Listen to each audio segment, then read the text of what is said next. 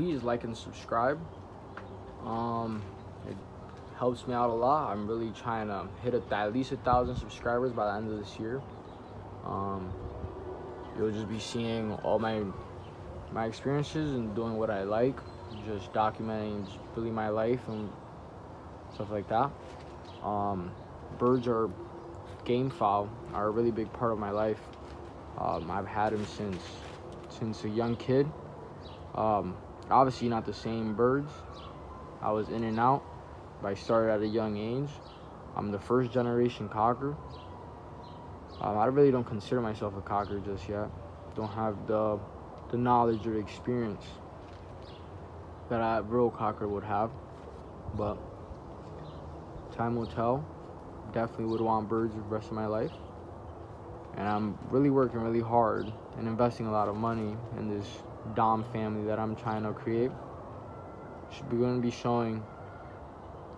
Well, their style, I won't be showing, but their style will be gaff and plastics. Plastics are the the Spanish style, you know, style you'll show in Puerto Rico and stuff. Um, weights, trying to keep them under four pounds. Well, at four pounds and uh, slightly under that, maybe like three twelve. Don't want a really big bird, but I also want to keep the height and the muscle mass. But also keep speed and power. It's it's a, it's a tricky thing. It's different ways you can breed birds. But yeah, um, like and subscribe. You, you'll see the improvement. And if you go back to my older videos, you'll see how the birds look back then and how the same blood has improved. Since I've been posting on YouTube, it's the same birds that I've been dealing with and just improving and properly selecting because selection is key. Because in one clutch, all, all the birds, they'll be slightly different um, um, characteristics, just their maybe their body language, um, just just small things. Um, so selecting is, is a really big, it plays a big part on creating a family and inbreeding and line breeding. This year I'll be inbreeding um, a lot more than I have. So yeah, um, like and subscribe, like I've said one post notification. I'll be posting whenever I can. And if you have any questions or suggestions, you know, comment below.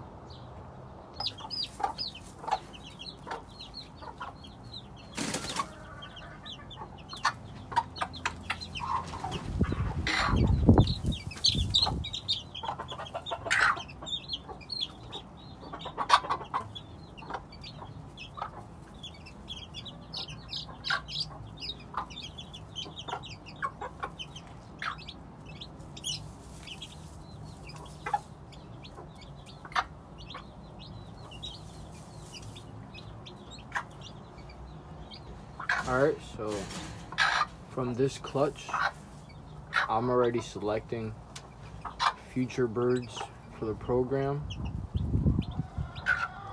Um, I'm already looking at, as you can see, the, the one that has more white, the yellow one. Um, that one and the lighter blue on the left. The one that just lifted his head up the bluest one, like the, the one that has the most blue. Choosing that, yeah, by color, confirmation, color of legs. I look uh, at a lot of things. Then when they mature, you know, certain tests will have to be done.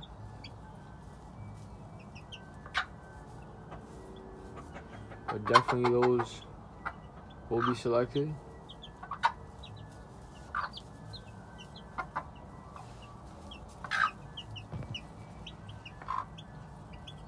This right here is an older hen. She should be um, three years old now. Um, she's produced stacks for me. Really good birds. Um, she's been around for a while for a reason.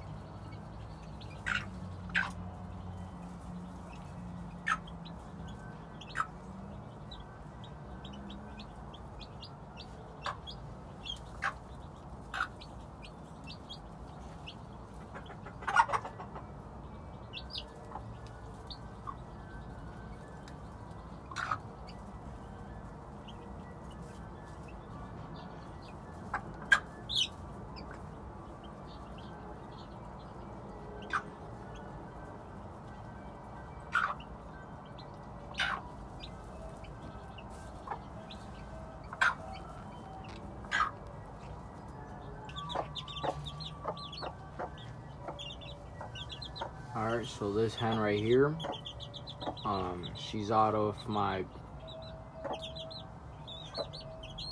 um, this really good bird I had, Peacomb. Um, he's red in feather, call him Rubio in Spanish. I bred him to one of my bullock hens. Produced her. Um, right now, her brother's showing in Florida, but before that, put him through a couple tests. He was doing really good. Um, out of this clutch, I'll be choosing the two that's on her right side, my left side. Um, it's the yellow one and the lighter blue.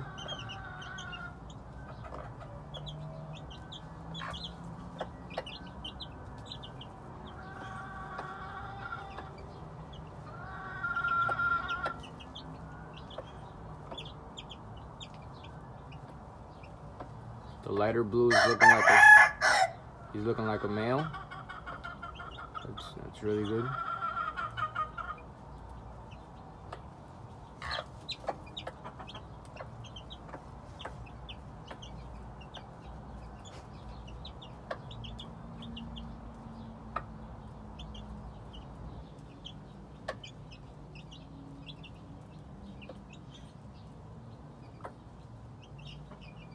And I've learned to keep them hungry and don't overfeed. Feed gets old and moldy, then you have certain sicknesses that occur.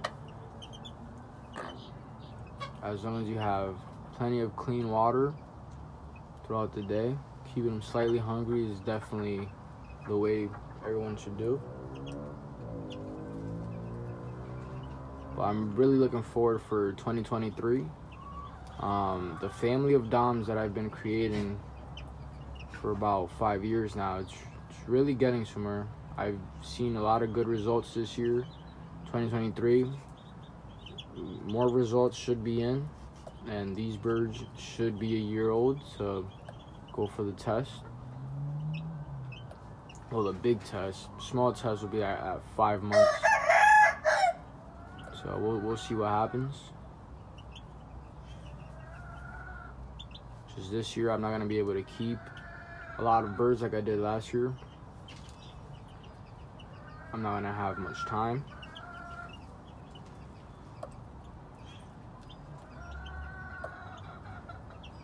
For too many birds. Just, just enough that I can keep up with. It's ideal. So I'm really being really picky this year. I usually am very picky, but being super picky this year of what I'm selecting.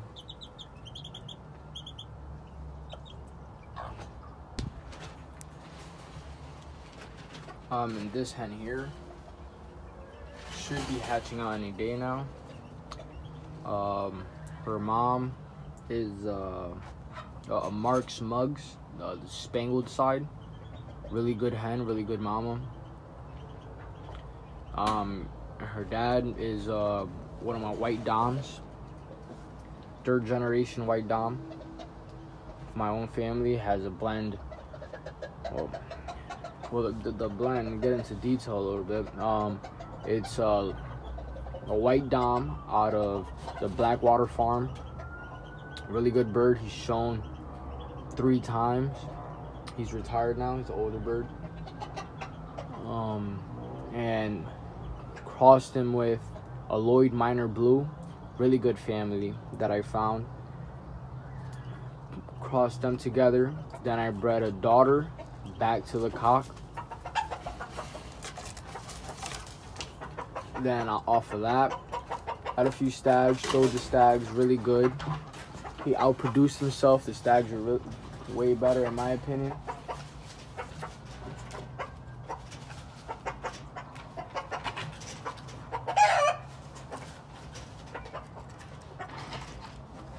And bred the stags to a variety a variety of different hens um, bred them to pure McRae bred them to pure Mark's Mugs bred them to different Spanish birds has Betancourt. Um, a lot of popular, different, you know, Puerto Rican style fowl. Um, obviously, you know, well selected hens so for those stags. Um, yeah, so blood of the white doms are definitely improving, definitely doing better. Is a process. Yes, not all crosses work, um, but you just cull everything, go back to the drawing board, but you won't know until cross, raise them up, and show them. But not all birds click together. So I'm really excited for this. See the results of this um, cross. This will be two times white dom, then one time of the Marks Mugs. The marks Mugs uh, Spangled, they do really good. I've seen really good results with them. But let's see see what happens.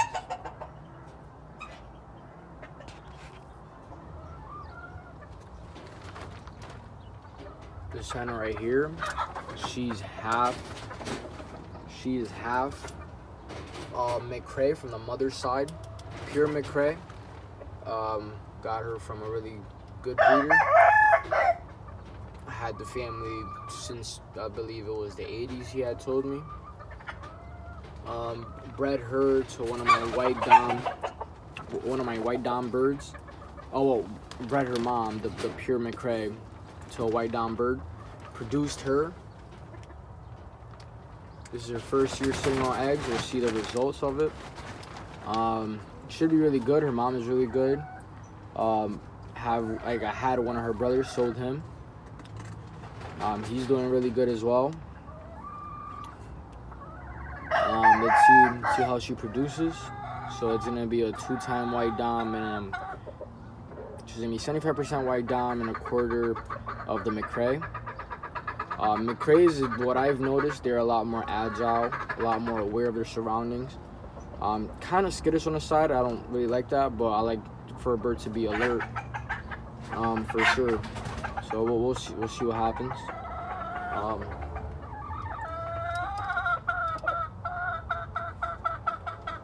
there, there's a little while for her to hatch, possibly about 15 days. Stay tuned, and we'll see how that clutch does.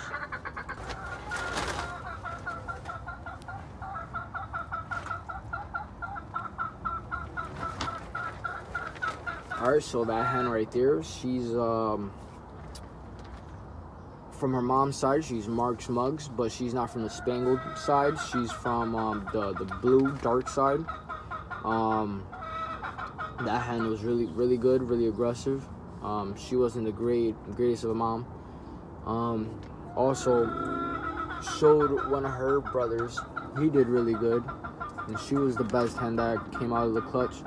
Kept her um, to see how she does as a mama and her offspring. Um, so this clutch that she's laying on would be 75% the white dom and a quarter of the Marks Mugs dark side. Um,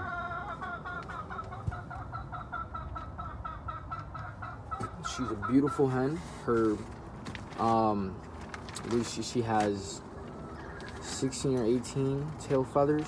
I mean, I know she has, you know, the the mom feathers that you would look for and also the length. The the two i believe they're called flyers the the two longest feathers. They are really long and they go above the rest of the tail feathers. I really like that. That means she should throw stags with you know big tails longer tails. Um she's a beautiful hen. She's on the tall side. She got long legs. Um, and her brother's acting really good so Let's see how she does going back to the white dom.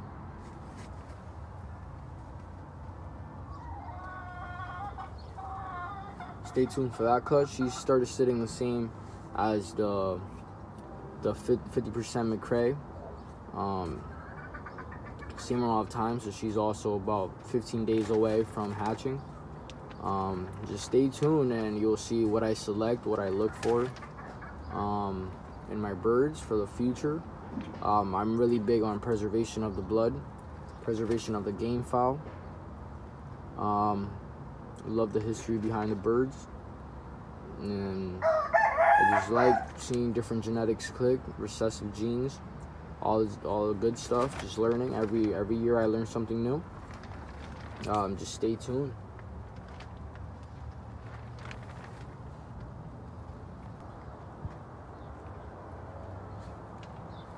Um, I got these octagon cages from eBay.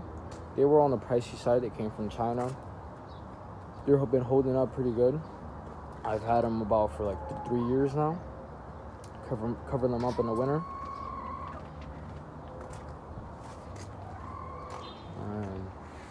Got these fly pens. I also made a video on the fly pens. They're uh, 4x4 um, by 7. And the roost is about at 6 feet.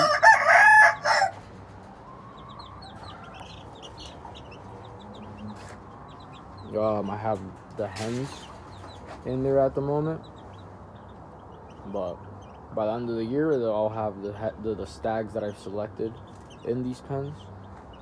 Um, yeah.